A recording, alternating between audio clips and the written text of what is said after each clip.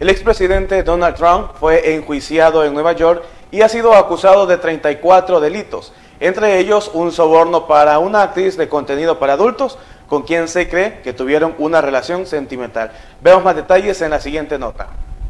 Justicia de Estados Unidos persigue a Trump por cargos penales. El expresidente afirmó el martes en Florida, tras ser acusado en Nueva York de 34 cargos de falsificación de registros mercantiles, que Estados Unidos está yendo al infierno y que nunca pensó que algo así ocurriría. Además menciona que el caso se ha realizado para interferir en las elecciones de 2024 y debe ser desestimado de inmediato. Asimismo, el expresidente habló en un acto convocado en el Mar a Lago, la mansión y club privado de Palm Beach, donde reside, y dijo que lo ocurrido el martes fue algo inédito en los 200 245 años de historia como país independiente de Estados Unidos. El exmandatario fue acusado presuntamente por haber orquestado una trama legal para pagar el silencio de tres personas que podían perjudicar su campaña para ganar la presidencia del 2016, explicó el fiscal Alvin Bragg tras la imputación. Durante la convocatoria del expresidente en un salón del Mar a Lago, muchas personas con gorras rojas del MAGA, el movimiento creado por Trump, destacaban entre los invitados para escuchar en vivo las declaraciones del expresidente de 76 años. Dentro de sus declaraciones menciona que ellos no siguen la ley